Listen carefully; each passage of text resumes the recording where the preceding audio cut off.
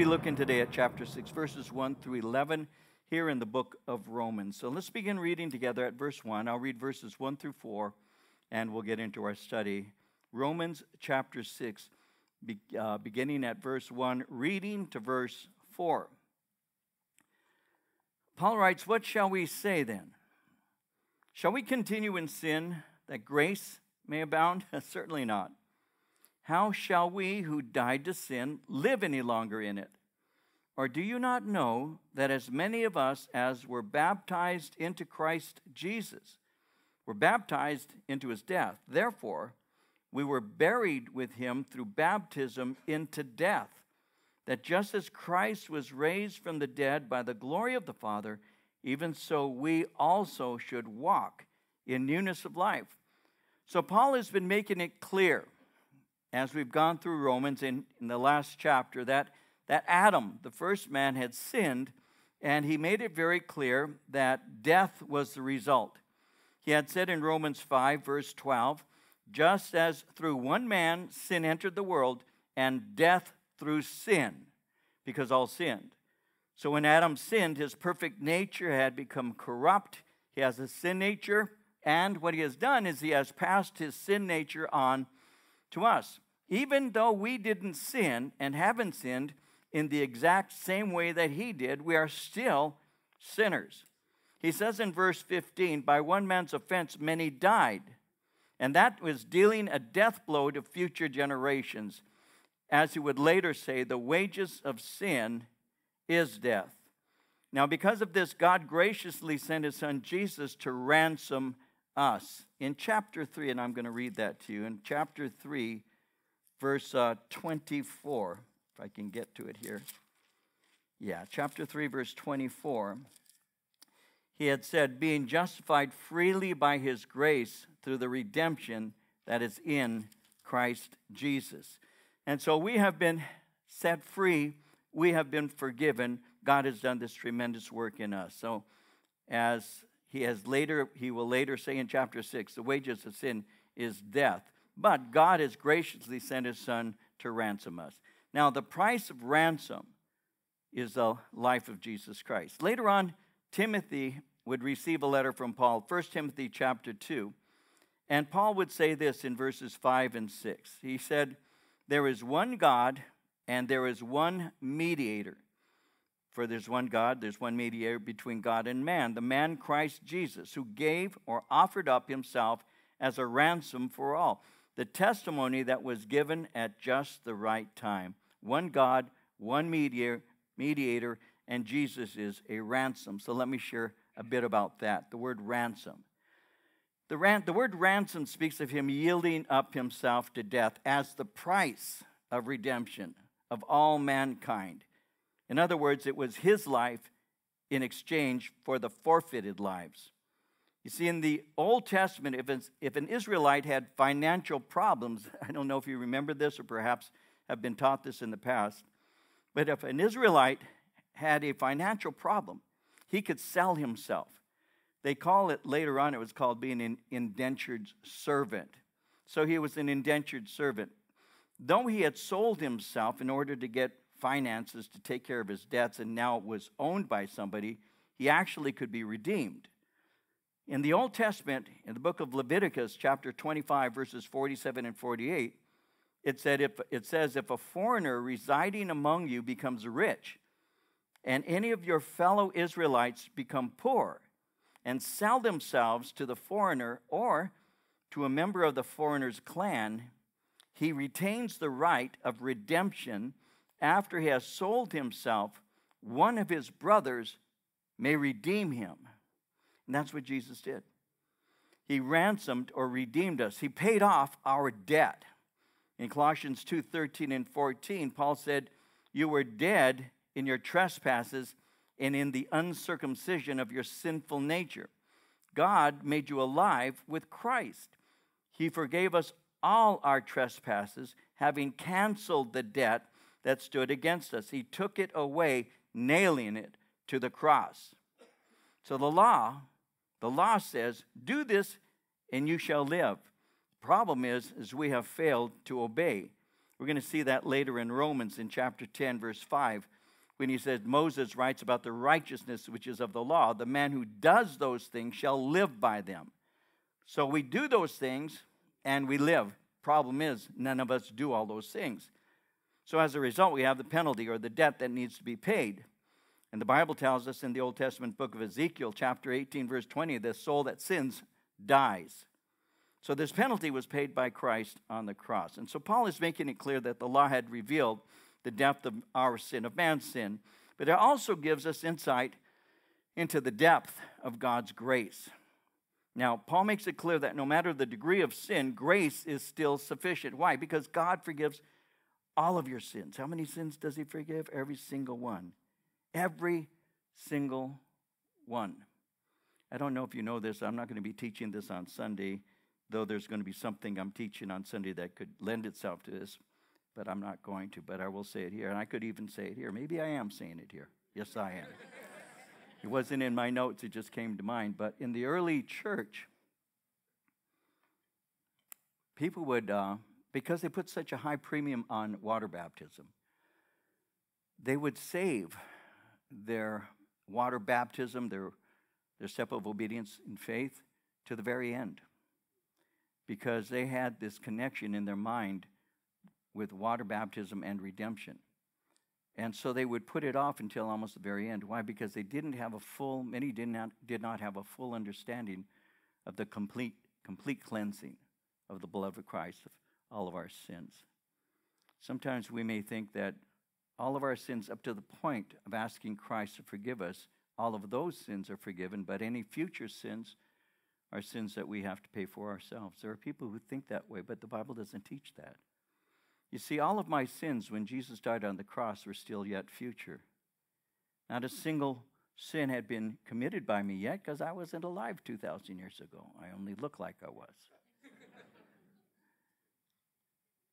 So, all of your sins, all of my sins, 2,000 years ago when Jesus died on the cross were still yet future. So, how many sins did he forgive? All of them. Every single one. You mean even the ones I have yet to commit? Even those. Now, am I saying we'll look at this in a minute? So, let us sin so grace may abound? Absolutely not. Um, we just need to be aware that that's how complete grace is. Sin infected every element of us every single portion of our nature. But when we received Christ, He redeemed us completely.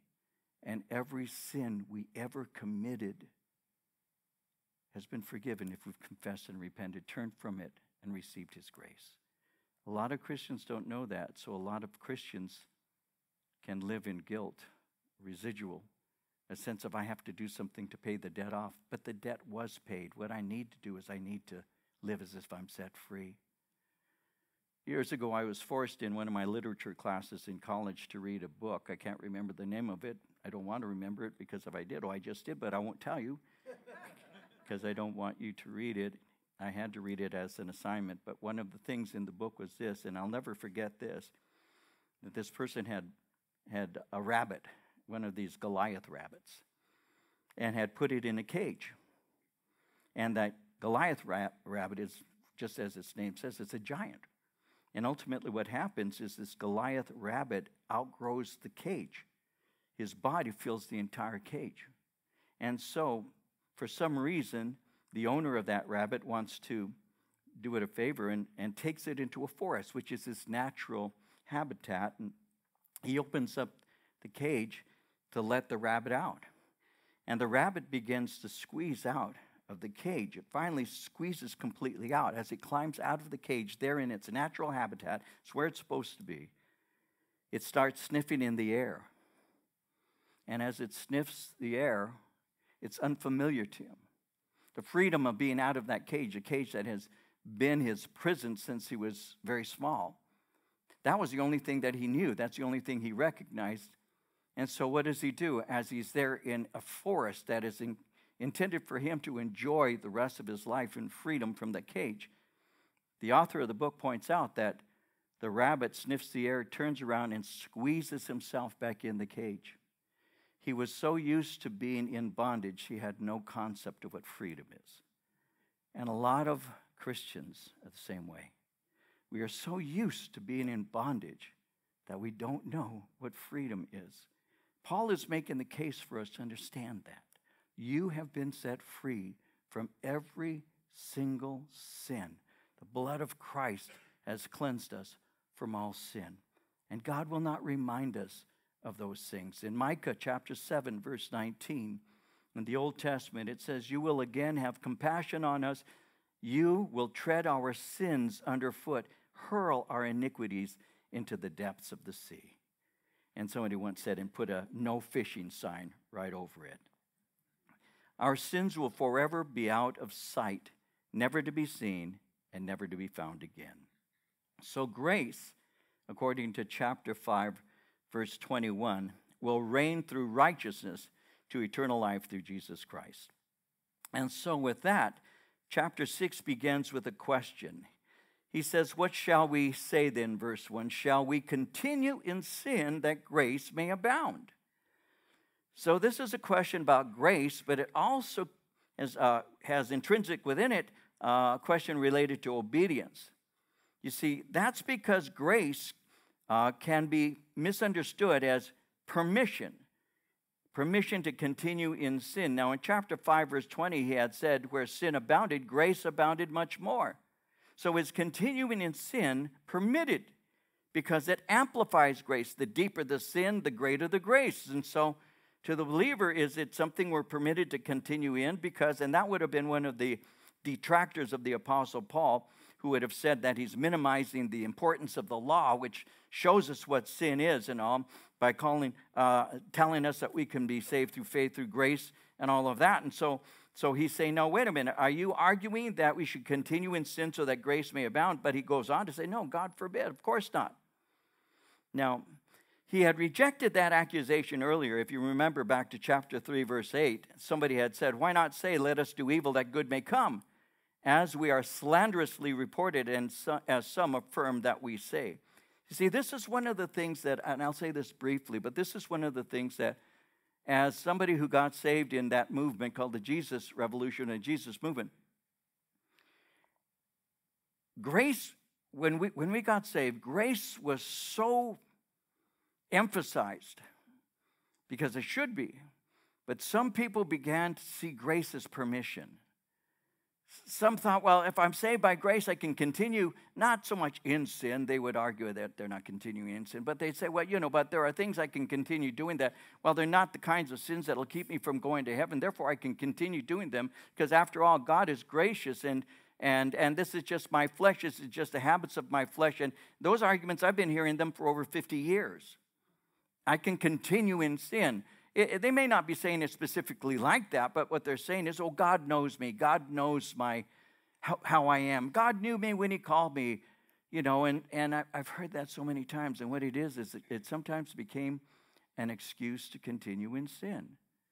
What has grace been given to you and me so that we can continue fornicating, so we can, can continue uh, getting drunk, so we can continue doing drugs? Oh, wait a minute, Pastor, wait a minute. Marijuana is legal now. Hmm. Just because something may be illegal doesn't make it right. We need to remember that. I, I, I had that argument again when I was 20 years old, and I was a pothead. We used to call them potheads. I don't know what they're called now. We were called potheads. And, um, and somebody told me that. Well, wait a minute, wait a minute, because we called marijuana herb. That's what we called it you know, I can still do herb. Why do you say that? I'm a brand new Christian, and they say, well, because the Bible says that God created the herb, and the herb's good. and I'm a brand new Christian, and I'm thinking, now that doesn't make sense. And I still remember saying, I still remember saying this to somebody. I said, yeah, we also have poison ivy, but we don't use it for toilet paper. I mean, not everything that everything that may have a use is not the proper way to use it, right? It's just not. And so anything that takes me away from God, anything that causes me to stumble other people, anything that is a habit that I might perceive as a freedom, if it causes other people to stumble, isn't a good thing. And to try to give myself permission to continue doing those things that Jesus died to set me free from is to demonstrate I don't understand the grace of God at all.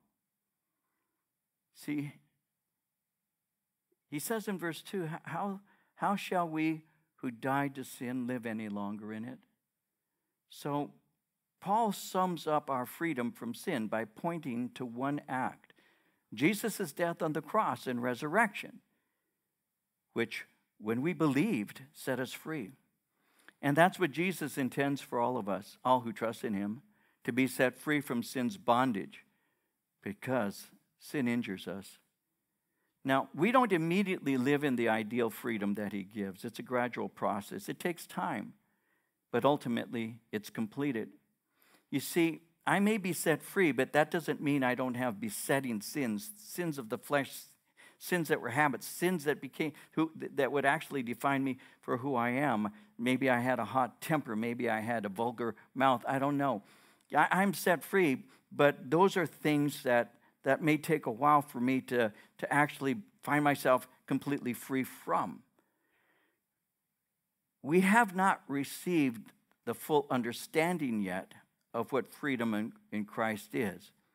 But we, what, what we do is we press towards a goal.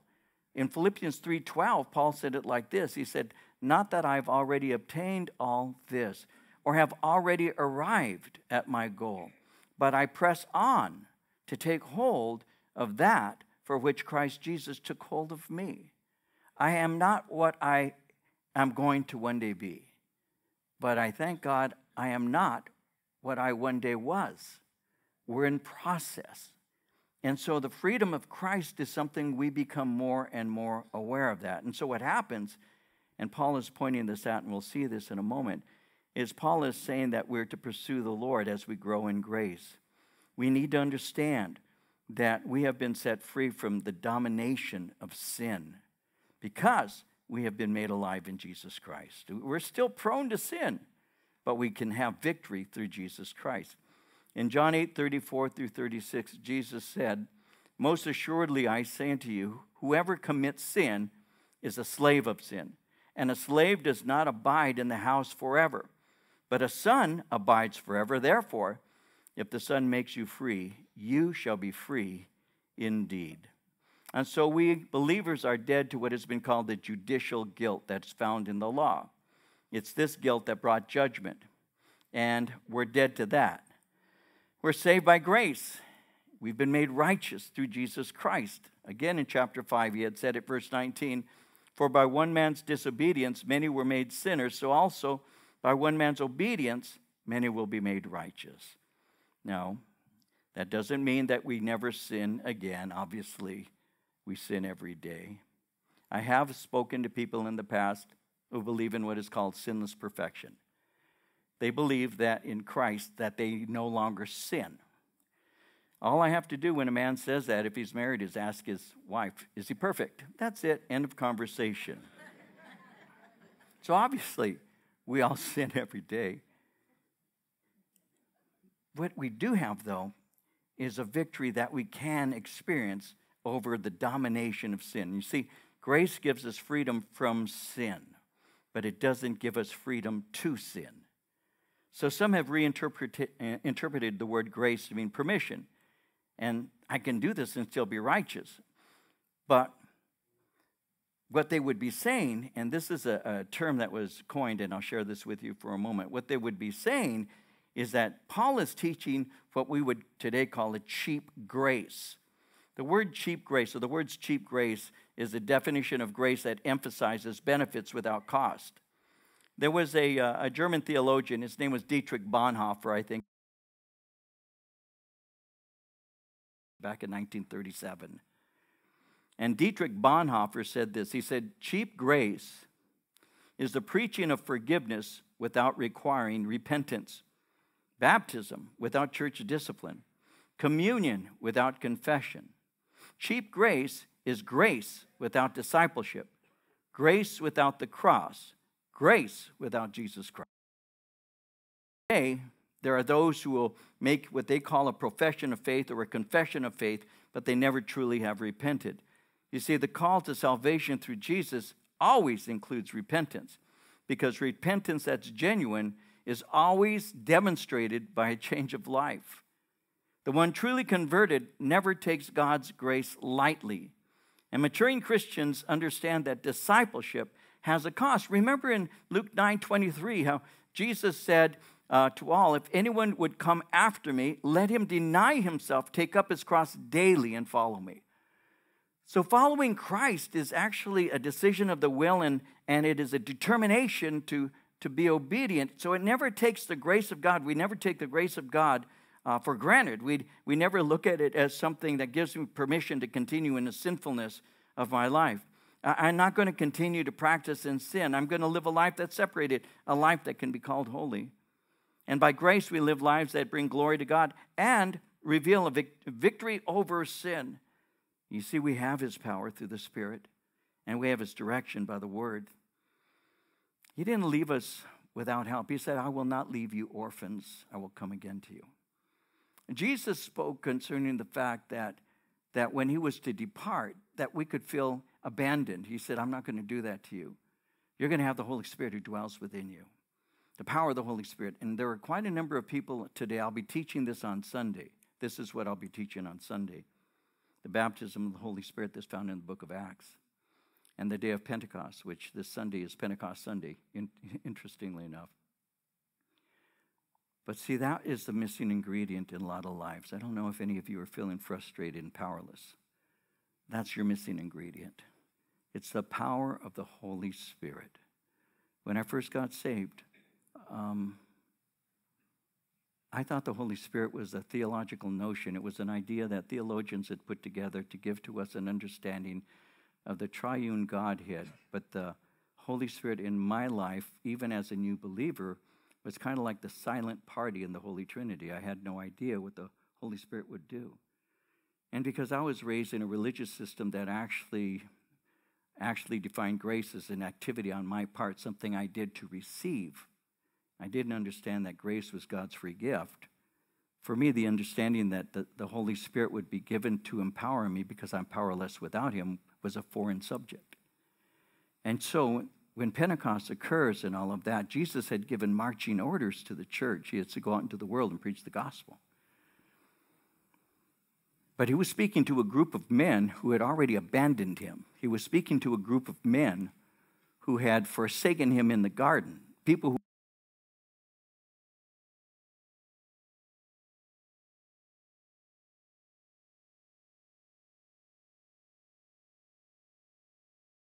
going to do that without power? See, you have a command, but you need the power to be able to do it. If you don't have the ability to do that which you're commanded, that's only frustration and futility. And so, in order for us to have a life that really is fruitful and demonstrating that God is with us, requires the power of the Spirit.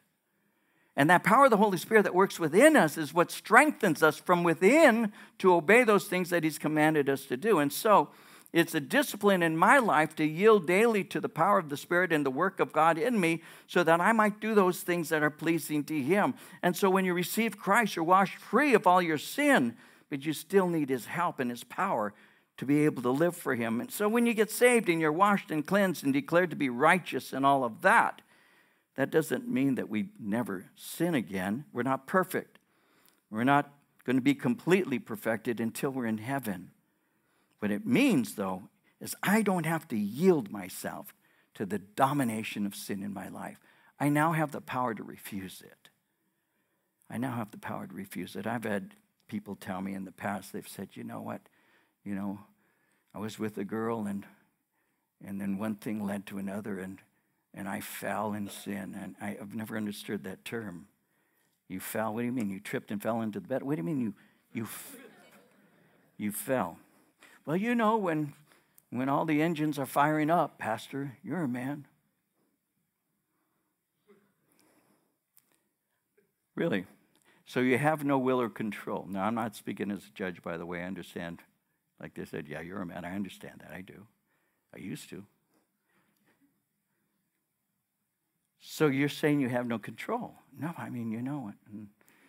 When everything's moving, really, Okay, so if the girl that you're with is available to you, yes, and your engines are firing on all cylinders. Okay, yes. You're saying you have no power to stop, right? Yes, that's exactly what I'm saying, Pastor. And what if she said to you that she has HIV AIDS and is infectious? Do the engines keep firing up? No. Why? So the fact is, you do have self control, you're simply not exercising it. So when you say you can't, what you really mean is you won't. See, God has given you the ability to say no. He has. That comes through the Word and by the power of the Spirit. So I cannot blame God for decisions I make. And no, we don't cheapen the grace of God. We simply rely on it and we discipline ourselves to pursue those things that please Him. Well, he continues going here in verse 3, and he says, Do you not know that as many of us as were baptized into Christ Jesus were baptized into his death? Therefore, we were buried with him through baptism into death, that just as Christ was raised from the dead by the glory of the Father, even so, we also should walk in newness of life. We also should walk in newness of life. And so, what he's going to do is he's going to explain water baptism. Water baptism represents Jesus' death, burial, and resurrection. So, when we are water baptized, we identify with these events. He's not saying that water baptism saves you, by the way, and he's not saying that water baptism is necessary for salvation. Those uh, who teach that baptism is a requirement to be saved uh, teach what is called baptismal regeneration. Remember, we looked at Mark 16, verse 16, where it says, Whoever believes and is baptized will be saved, but whoever does not believe will be condemned. And so let's say, well, look, you have to be baptized because it says believes and is baptized. In Acts 2 38, they, they quote this. They say, Peter said, Repent and be baptized, every one of you, in the name of Jesus Christ. And so they believe that in order for you to be saved requires water baptism. Somebody said those of the baptismal regeneration persuasion believe that baptism and, for some, repentance and confession are additional things that God requires before He grants salvation, but that's not taught in Scripture. God's Word, even as we've seen, requires faith in Jesus. When Paul was asked the question, What must I do to be saved? He gave a simple answer, Acts 16:31. He said, Believe in the Lord Jesus Christ, and you shall be saved. And then he said, And your household. Not that the household was saved along with the ones who were believing, but they would be able to go present the gospel and the, their household could be saved also. So, water baptism is what follows and expresses saving faith in Jesus Christ. You believe and you're baptized.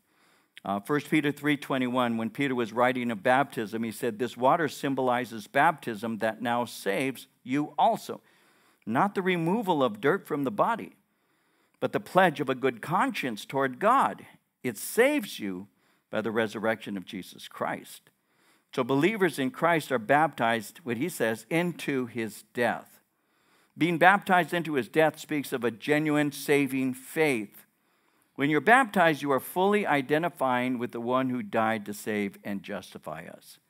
To be openly baptized into Jesus is a courageous declaration of faith, especially during that day.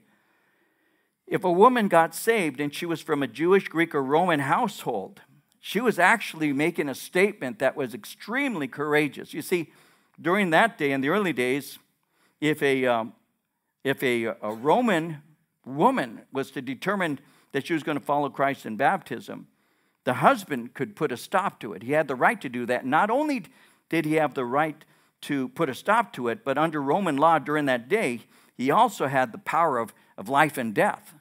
Under the Roman system, the Roman husband took the power of life and death as it was given to him by the girl's father. So the girl's father had the right to kill her in the early days of the Roman Empire, in the early days of Christianity. The Greek a Greek woman would never turn to faith in Christ because the Greek husband had complete control of her also. And, and a Jewish woman, for a Jewish woman to turn to Messiah Christ, Messiah Jesus, it was almost unheard of during that day. When she got saved and she followed in water baptism, that was an expression of courageous faith that was unheard of because she was willing to identify herself in such a way, following in open confessional baptism. She was identifying fully with the one who died to save and justify her. It was courageous.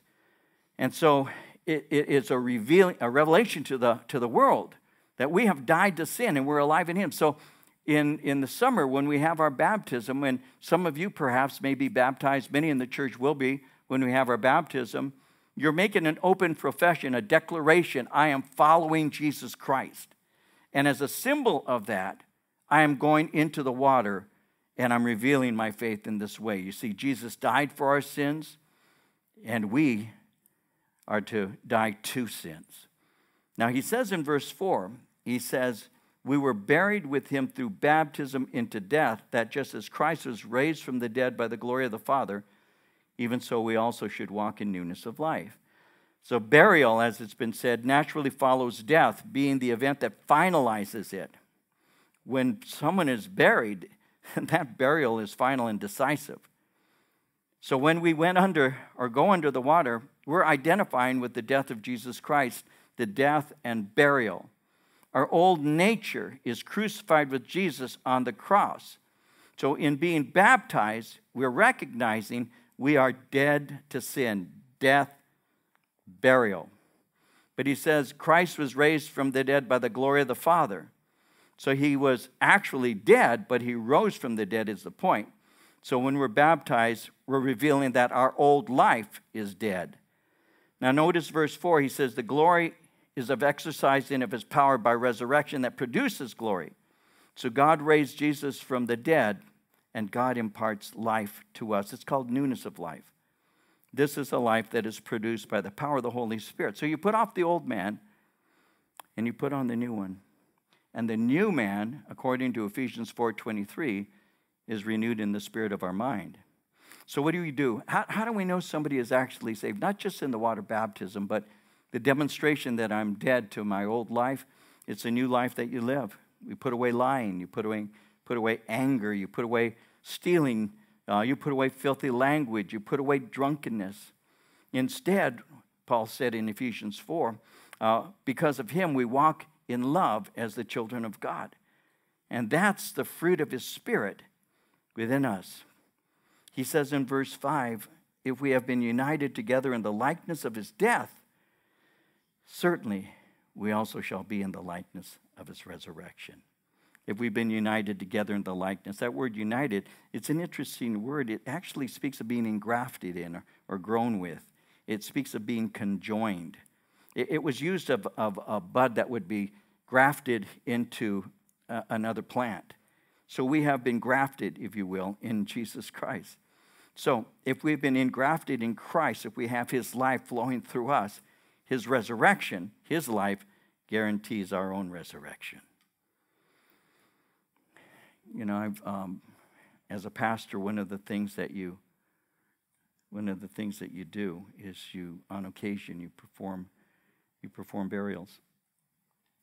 It, it, it's one thing to to perform burial for somebody that you, you didn't know. I in, in the earlier days, especially, I, I would do burials for people I never really knew. I was simply asked to do it, and I would do it. And there's always a certain sorrow in your heart for a grieving family. Then sometimes you'll perform a burial for somebody that, that you knew. And that's, that's always very difficult because as you are performing that burial, uh, you're thinking of relationship and friendship that you had with that person. Then sometimes you may do a burial for somebody that you knew and loved very dearly. Um, I performed, for example, the funeral for a very dear, dear friend of Marie and mine, her name was Connie Signs, and, and Connie Signs was was a, a, a, woman I'd known since I was like 30, and she had. She, I, I was an assistant pastor, and Connie and her husband David come to the office when I was the assistant and spoke to me and said to me, you know, we, we go to Calvary Chapel, West Covina, but we live in the area and we like to come to the church. I was the assistant at that time, but we want to know something about the church. And so I said, Well, what would you like to know? And we had a conversation. And at the end of the conversation, she said, Thank you. Connie was very direct. And she said, Well, thank you very much. And I said, Of course. And she walks out. And a minute later, I hear a knock on my door again. She comes walking in and she hands me a, a check, a tithe check. She says, We're going to go here. Here's our gift. And so I said, It's not enough and gave it back. No, I.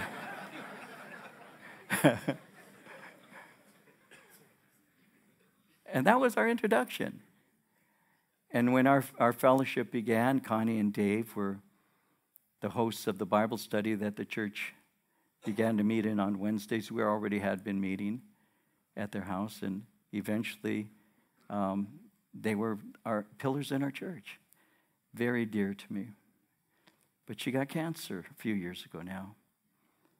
And Connie, um, I went to see her. And the last time I went to see her at her house, and And as I was there praying with her and talking to her, I still remember that she grabbed me my, by my hand. She was so weak and she had lost so much weight. She had pancreatic cancer. And she took me and she kissed my face two or three times. Little did I know she was saying goodbye because two days later or a day later, she, she had gone to heaven. But when I took her hand, she handed me a tithe check her last tithe check that she personally gave to this fellowship. So you, um, you, you, you see people when they go to heaven. Some people you didn't really know, some people you knew, some people you knew well. And then you bury your own father and you bury your own mother.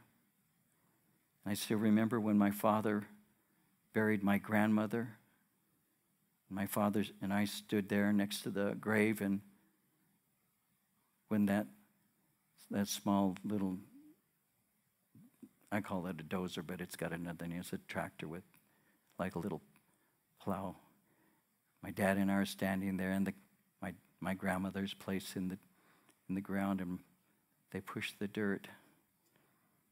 And my father, who had my dad was very emotionless. He kept his emotions hidden, and I'll never forget hearing the sound of him as he's he took in a breath and the groan that came out of my father when it hit him.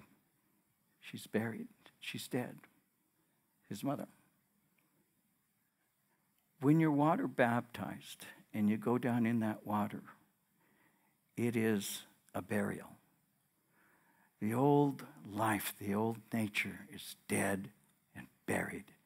And the water that goes over it is the grave.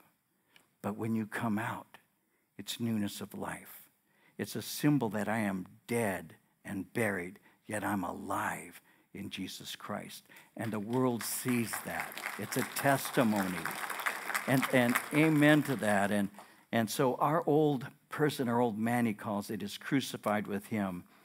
In verse 6, it says, Our old man was crucified with him that the body of sin might be done away with, that we should no longer be slaves of sin, for for he who has died has been freed from sin.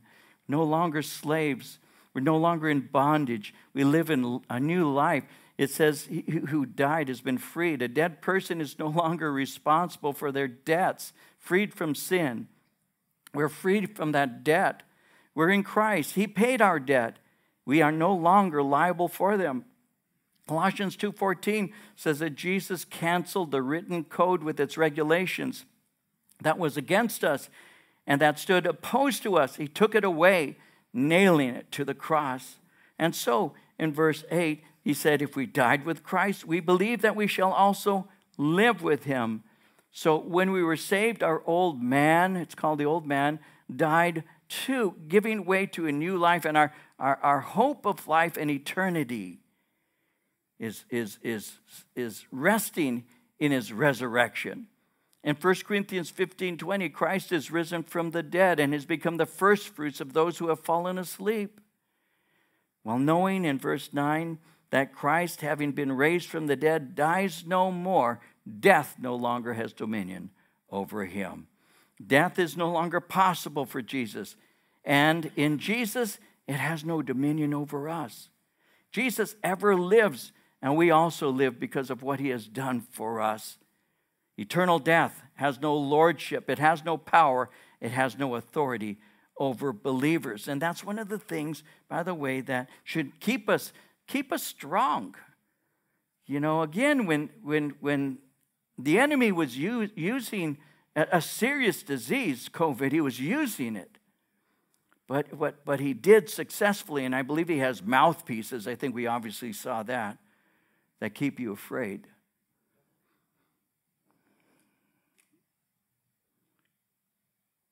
I, I, don't know how to say this because it sounds weird. Death, in and of itself, I have no, I have no fear of death itself, none at all. The Bible says that death is our last enemy. It's not a friend. But I, I, don't, I don't have fear of that. Why? Because Jesus disarmed the one who has the power of death, that is the devil. Jesus conquered him in his life. And the life that Christ has now dwells in me. See, so one of these days, and at my age, it's coming closer now than ever before. Every day's closer, and it's okay. I'm not morbid about it, it's just a fact. One day, should the Lord tarry, somebody will hear that David Rosales died. But I've heard this before. It came through greater voices than this one right now, including my own pastor Chuck, who said something similar. And, and I believe it was D.L. Moody who said something similar. And when you hear that D.L. Moody is dead, don't believe it because I will be more alive at that moment than I've ever been. And that's Christianity. See, death, oh, death, where is your sting? You know, why would I be afraid to enter into the presence of God? And the enemy has a tendency of keeping us afraid of those things when in fact it's not that we want to celebrate death but we, we awaken to the reality that when i close my eyes here i open them there and, and i will be in his likeness and at his right hand is joy forevermore and, and this is what we have as believers been preparing ourselves for.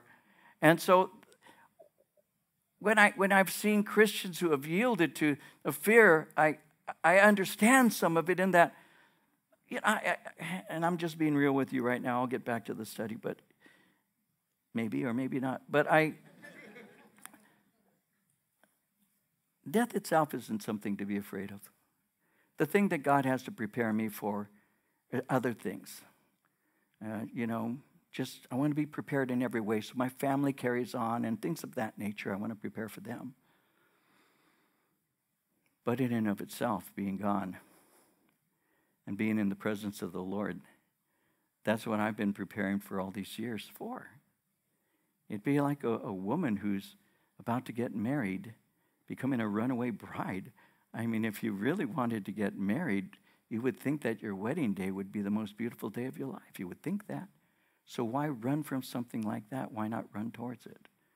Why not embrace it and why not enjoy it? And so, fear of death. No, Jesus Christ died on the cross to set us free from that fear.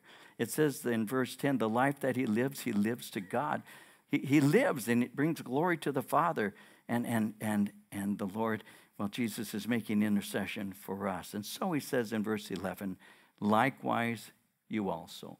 Reckon yourselves to be dead indeed to sin, but alive to God in Christ Jesus our Lord.